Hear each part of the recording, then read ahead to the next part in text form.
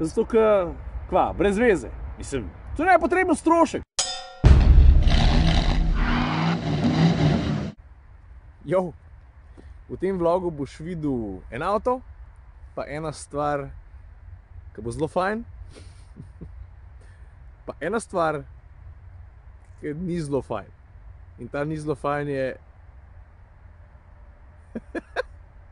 Čup se dobiva, ker res malo hecno zgleda. Ne? Pa še eno opozorilo, ta vlog bo zelo pocukran. Mrzlo bo rekel, da daj komu ta rajš se ti avto drž, ne pa rož. Bom razložil, zakaj gre, pojmo pa najprej na tega modela.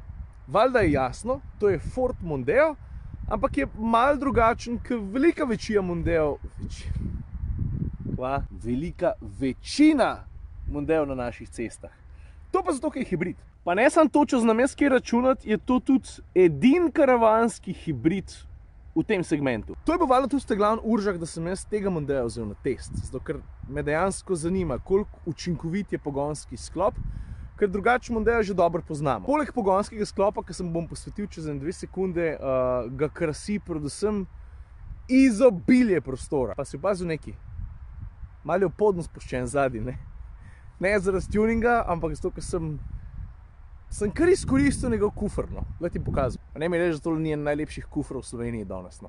Dar, pa nisem zdaj zaradi pena odprl ta prtlažnik, ne, nekaj drugega bi rad pokazal. Uh, a vidiš tole izboklino na kufru, ne, pravzaprav je podn tega kufra bistveno višji, kot pri navadnem Mondeju. A veš zakaj je tako? Zato ti veš, kje ima baterijo. Tam nazaj. Drugače pa, ker že govorimo o prostoru, ne, v kabini ga je pa še zmeri juhuhu. To je ful uporaben test. Ne? Si videl, koliko ima ta avto prostora v kabini? Jo, koliko? Juhu, placa, placa je res velika. Ok, zdaj pa čas, da se posvetimo bistvu. Uh, hibridnega Mondea načeloma ne boš kar tako ločil od običajnega, ampak če si face pozoren, pa pardon, avto je mečken usran, da vidiš, kaj tukaj piše. Zdaj bi ti rad razložil, pa kaj poganja ta avto. V bistvu gre za kombinacijo benzinskega motorja z električnim pogonom in tukaj pod hubom in grede, a veš, kako je lepo nagubana? Je malo bolj športno zaradi tega, a ne? Tako deluje. A, tukaj noter je dvolitrski benzinar. In moč, ki jo benzinar proizvede, je 137 kW oziroma 187 konjev, pa ne 6 ur vrtlajih. Elektromotor doda še dodatnih 88 kW. Te glavne pa itak podatek o skupni, kombinirani moči uh, pogonskega sistema. To je pa 234 konjev oziroma 172 kW. Avto še kar dobro skoči, ampak temu ni namenjen. Pa preden se dotaknem porabe, ne? vedno podarjam, če ti kupiš hibrida ali pa priključnega hibrida, moraš najprej tukaj pošlihtati stvari. Ker edin pol boš lahko ali se približal potencijalu avtomobila ali ga pa tudi v popolnosti izkoristil. In zdaj prijemo pa do porabe. Poprečna poraba, ko sem vozil ta avto jaz, pa zame veš, da sem velik na avtocesti pri meni, je bila, pazi to, 5,8 litra na 100 km. Obenem, da dopolnim sliko, ko pridemo do porabe, ne, je šlo tudi dosti nižji, brez kakšnega hudega pretiravanja z izjemno varčno vožnjo, uh, ko moc sem se vozil s 5,4. Po drugi strani pa, ker sem želel biti malo hitrejši, je bila poraba med 6,0 in 6,3. Ampak v vsakem primeru, ne glede na stil vožnje, je to glede na zmogljivosti avtomobila, glede na velikost in težo, je to je kar dober podatek. No. No, in to je to, kar sem danes na hitro želel povedati o hibridnem Mondeu, zdaj pa prijemo do unga drugega dela. Ki bo malo bolj tak emotional. Emocionalej. A veš, jaz pa moja žena te dni praznujeva deseto obletnico najnega prvega poljuba. Mislim, se druga leta niso praznovala, ampak deset let, to je pa že kar dober uržak, da se malo bolj potrudiš. Drži. Poglej, um, da vsake toliko časa sodelujem s svetličarno Gardenijo, um, to sem že večkrat omenil. Na zadnje, v lanskem videu, ko sem razlagal, na kakšen način sem priredil doma presenečenje poroko. Takrat sem omenil, da so poskrbeli za nor ambient. Videa nikoli nisem pokazal. Ne bom zdaj celega pokazal, ker je zelo intimen, ali pa mogoče bom enkrat pokazal eno tako malo bolj predelano verzijo, tako za vse. Um, kako je izgledal, na kakšen način mi je med drugim Grdenja tudi pomagala, da sem imel doma res čaroben, pravličen ambient. A jaz sem še to, poročen video nam je snemal in sestavil Nik Čebulc.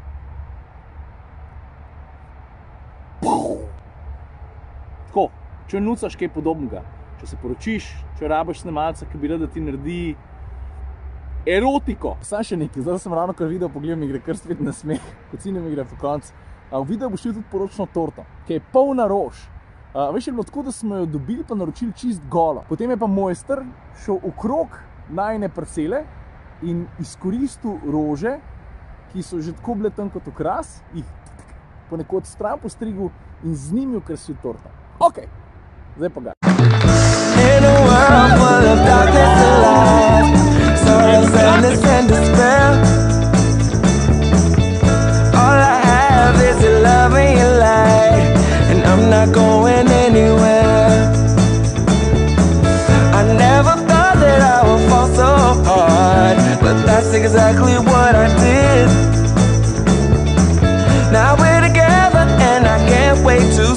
Start the rest of our lives here. So will you take me and will you make me the happiest man in the world?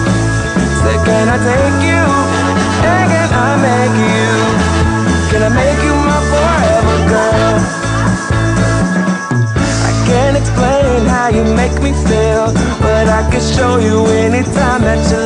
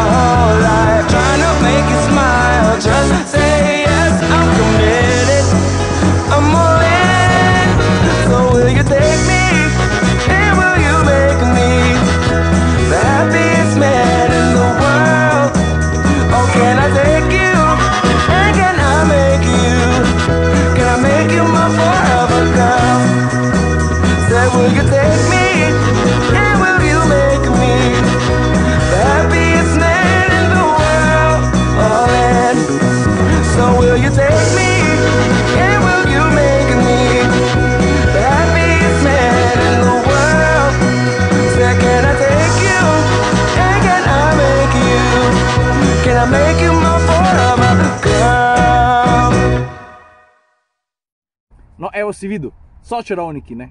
znajo z rožam, če si bil na rože pozoren. Si gledal kaj drugega.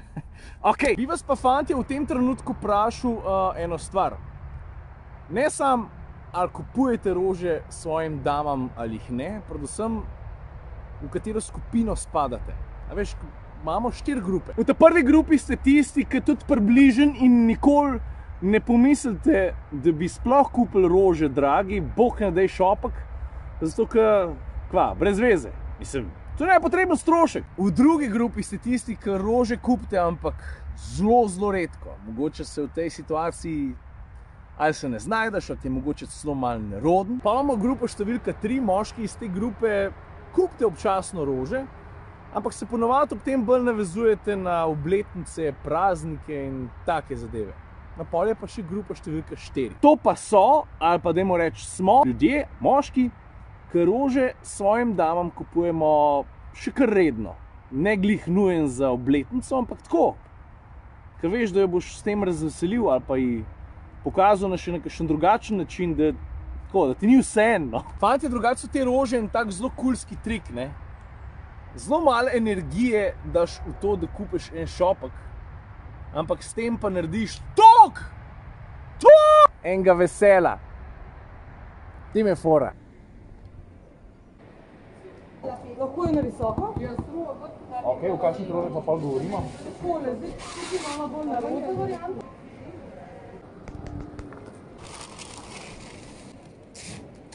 Evo, izvolite. Hvala lepa, naslednje. Dec prropotov, a? Prišel sem ful pozen domov, Tina je že spala, mater sem ko smrt. Tako da sem, sem do rož še na mizo, pa jih bo jutri zjutraj videl.